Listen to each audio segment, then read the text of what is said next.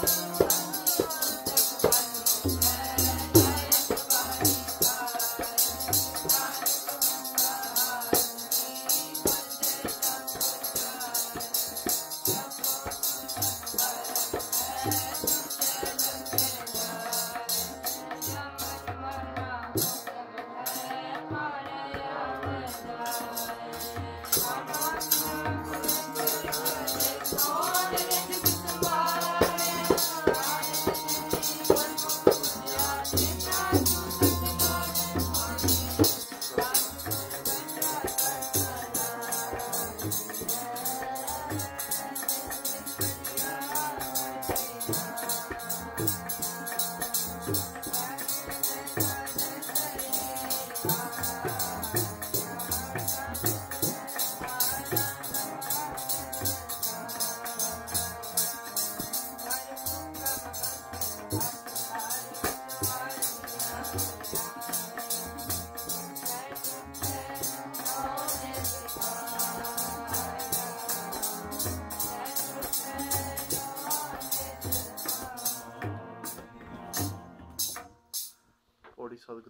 ਸਤਿਗੁਰੂ ਵੱਡਾ ਜਿਸ ਵਿੱਚ ਵੱਡੀਆਂ ਵਡਿਆਈਆਂ ਸਮੇਲੇ ਨਜ਼ਰੀਆਂ ਆਈਆਂ ਜਸ ਪਾਤ ਮਨੁ ਕਰੂ ਕਮਸਤ ਖਾਤਰ ਵਿੱਚੋਂ ਮਾਲ ਕੱਢੀਆਂ ਵਡਿਆਈਆਂ ਸਹਿ ਤੁਠੈ ਨੌ ਨਿਤ ਪਾਈਆਂ ਸਹਿ ਤੁਠੈ ਨੌ ਨਿਤ ਪਾਈਆਂ।